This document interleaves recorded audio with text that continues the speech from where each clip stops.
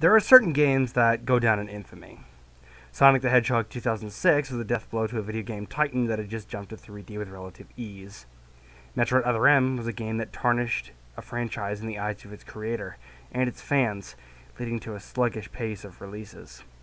Balan Wonderworld was the product of oversimplification and will most likely be responsible for Yuji Naka's career ending. And yet, one set of games that sits alongside these in infamy doesn't share something with the rest I just listed. They aren't remembered poorly, but fondly. One of those games would be the subject of my critique.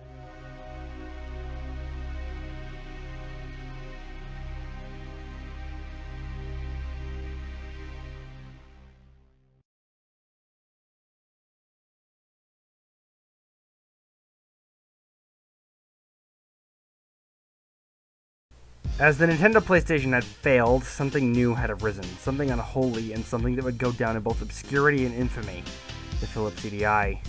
With a launch lineup of games consisting of Backgammon, Battleship, and Connect 4, this wasn't a video game console, it was a collection of digital board games and audiobooks. And yet, four games stood out from the rest Hotel Mario, Link, The Faces of Evil, Zelda, The Wand of Gamelon, and Zelda's Adventure.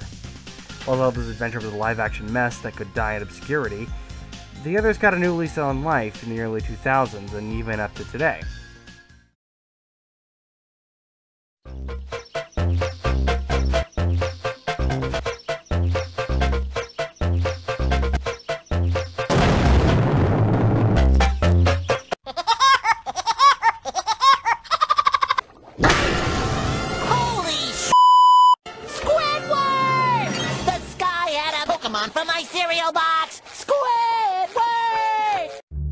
And it, what's for dinner? Serious? Spaghetti, spaghetti, spaghetti, spaghetti, spaghetti, spaghetti, spaghetti, spaghetti. Salati, salati, salati, salati, salati, salati, salati, salati. Hey, what's up, everyone? It's your boy Link here, and today I'm going to make a movie called The King's Nostalgia Trip. Cool, huh? Excuse me. Hey, King, get mm-hmm. out of the way. Oh boy. Huh? Here's your popcorn. Oh, thanks. YouTube Poops let this old series of games have a new lease on life, where people would remix their cutscenes with some incredible effects. I'll leave all the poops I used here in the description. This is why these games are remembered fondly. The laughable, horrible cutscenes allowed people to express themselves in creative ways. From the birth of sentence mixing to the addition of crossover memes like the ones in Sky Had a Weegee, the Zelda CDI game sparked a huge part of the early internet. And without them, meme culture probably wouldn't exist, or if it did, it wouldn't be the same. These cutscenes are the reason why any amount of our modern memes are able to exist. Without them, the modern internet would probably be very different, but that isn't all the game had to offer. Despite what you may think, the CDI was actually capable of playing actual video games, and the Nintendo properties have some of the weirdest gameplay in their respective series. Hotel Mario is a side-scrolling game with the goal of being to close all the doors in the hotel. Zelda's Adventure was the most normal of the bunch, with being a top-down 2D Zelda game like most of the games that came before it. The other two Zelda CDI games follow the lead of Zelda 2, Adventure of Link, but also make use of an inventory for throwable items. However, unlike in Zelda 2, the co- collision on the 2D plane Link or Zelda moves on isn't always clear. The team decided that having 2D painted backgrounds was a good idea, or rather the higher-ups did. For more info, check out What Happened by Matt McMuscles. This was done to make the game look more modern, as was the choice for a 2D perspective instead of a top-down view. However, this leads to unclear collision detection most of the time, and can mess with my 2D platforming muscle memory from games like Metroid, Mario, and Sonic the Hedgehog. It isn't too bad in a lot of areas, but there are some really garbage places as well.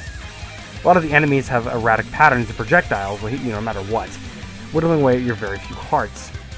Some enemies can't even be killed without certain items, and if they can be killed without, an item, some enemies take a million hits to kill with your sword. This makes the combat incredibly frustrating. It means that the main thing that you'll be doing sucks to do most of the time. The best word I could use is clunky. Actually, in Zelda 2, sometimes the combat could be a little frustrating. Which I don't even need to say is a bad thing for a game like this. This, and another reason that I'll get into a bit, is why this is the first game that I have yet to complete for a review. Not 100%, not even any percent. I just couldn't bring myself to do it. It just wasn't even due to lack of time either. While yes, this part of the script is being written on October 9th, Dread is awesome by the way, I expect a review, uh, I stopped playing sometime early in September. The other aspect that totally killed this game for me was the lack of guidance. In Zelda 1, there was little to no guidance. However, that was pretty reasonable to expect players to simply find areas most of the time. Here, things are hyper specific, with little to nothing to tell the player what to do. Even with a guide I found online, I was incredibly, incredibly lost on multiple occasions. Doesn't help that the game was frustrating to record thanks to one of my monitors quitting this summer. The cutscenes in context make about as much sense as they do out of context, and that's perfectly fine. They honestly became the things I looked forward to the most when I was playing this game. Despite not realizing there was an item menu for a while, I also really like the item selection that this game has. Different key items and projectiles make the game a little bit better, even if it causes it to be a bit grindy at times. Overall, what I have to say about this game is that it's better off left with its sole legacy, being the cutscenes.